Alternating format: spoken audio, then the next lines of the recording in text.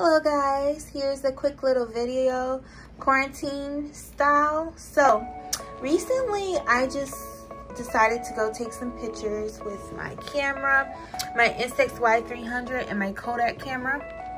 Now, of course guys, um, the pictures from the Kodak camera has not been developed yet, but as soon as they are, I will be sure to show you guys the pictures.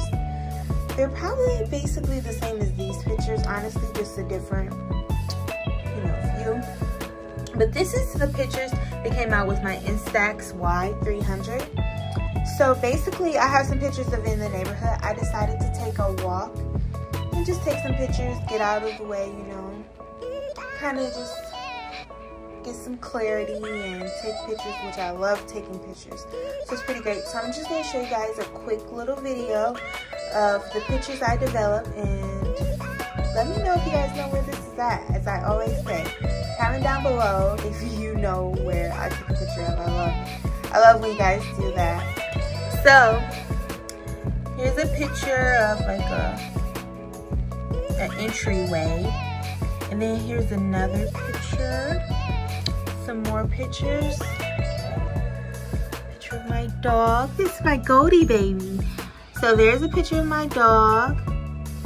There's another picture of my dog. Then there's some pictures of the streets, the lights. I like the way that the light over there, the lights.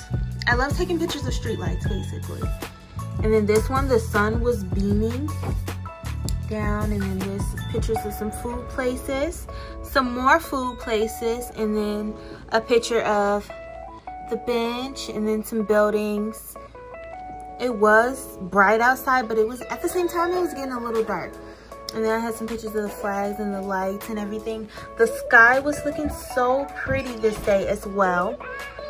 So there's my quick little video. I do want to show you guys the photos that I developed with my Kodak camera. Once I do develop those photos, I'll show you. Look at my Goldie bear. She looks so beautiful. She looks so cute. Goldie, I love you. Anyways, that's her walking. And this is just quarantine edition. I was supposed to use my film in new york but since everything got canceled i just said hey let me just take a walk and use my film like that. So i was able to do that and i'm happy with it. I am going to be going some more places and taking some photos. Um, so stay tuned guys. Thanks for watching. Please leave a like comment and subscribe for me and i hope you guys are all staying safe and healthy. Bye